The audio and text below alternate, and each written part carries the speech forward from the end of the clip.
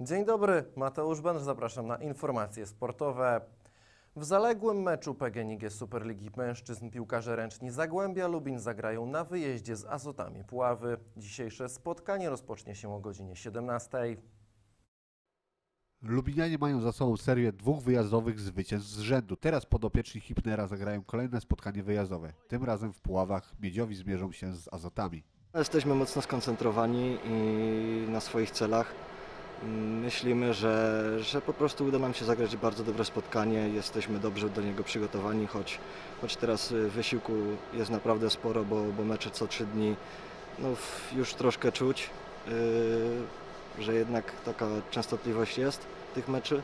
Azoty Puławy zajmują trzecie miejsce z kompletem punktów, ale przez pandemię mają też najmniej rozegranych spotkań w lidze. Zagłębie Lubin natomiast rozegrało cztery mecze więcej. Swoje zmagania zakończyli piłkarze czwartoligowi. Na koniec rundy jesiennej Prochowiczanka Prochowice zremisowała 1 do 1 na własnym obiekcie z Odrą Chobienia. Poprzedni sezon Prochowiczanka zakończyła na ostatnim miejscu i tylko dzięki zakończeniu przedwcześnie rozgrywek nie spadli z ligi. W obecnym sezonie zostali odmienieni i są rewelacją rozgrywek. W pierwszej połowie e, no, mieliśmy 400% sytuacje i wykorzystaliśmy tylko jedną.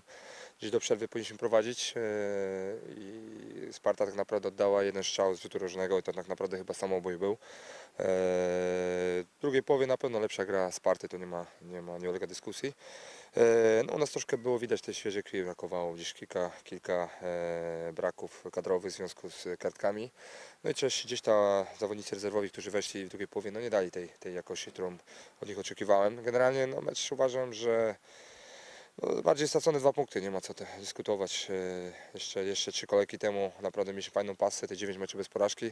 Potra- się e, porażka mm, z Chrobrym, gdzie, gdzie na pewno Chrobry był piłkarsko lepszy, no, ale tydzień temu z Sinawie zagraliśmy z poniżej oczekiwań na pewno i myślę, że e, dzisiaj, dzisiaj też nie było widać tej, tej jakości, której prezentowaliśmy w poprzednich meczach. Generalnie na pewno lekki niedosyt, jeśli chodzi o ten mecz, e, ale, ale podsumowując tę rundę, no powiem tak, jest przyzwoicie, może nie jest super, bo na pewno e, te, te ostatnie trzy mecze zdobyliśmy tak naprawdę tylko jeden punkt i to nieco e, inaczej obrazują tą sytuację w tabeli. Generalnie patrząc przez pryzmat tej całej rundy, miejsce, w którym Prochowiczanka e, była w tamtym sezonie, a jest tym, to na pewno jest, jest zdecydowana poprawa. Aczkolwiek, e, no ja mówiłem przed e, tym sezonem, że stawiam cel, e, żeby znaleźć się tej ósemce.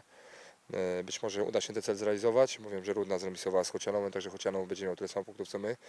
E, No co, czeka nas praca na, na, nad tym, żebyśmy e, lepiej, lepiej wykorzystywali, fi- finalizowali te akcje, bo uważam, że mieliśmy dzisiaj tych sytuacji w pierwszej połowie naprawdę stuprocentowych co najmniej, mówię, cztery, przynajmniej dwie, no to trzeba zakończyć e, strzałem do bramki. Inaczej na pewno ta sytuacja, tu bramka zdobyta na 2-1 na pewno by e, spowodowała, że ta druga połowa by inaczej wyglądała. No, ale jest remis, kończymy rok, e, trzeba troszkę odpocząć od tej piłki i ładować akumulatory na nową rundę. Na boiska zawodnicy powrócą w marcu. Znamy termin rozegrania zaległego meczu 1-16 finału Pucharu Polski pomiędzy Zagłębiem Lubin a Podbeskidziem Bielsko-Biała. Drużyny zmierzą się 1 grudnia o godzinie 17.40, a spotkanie będzie transmitowane w Polsacie Sport. To już wszystkie informacje na dziś. Dziękuję Państwu za uwagę. Do zobaczenia.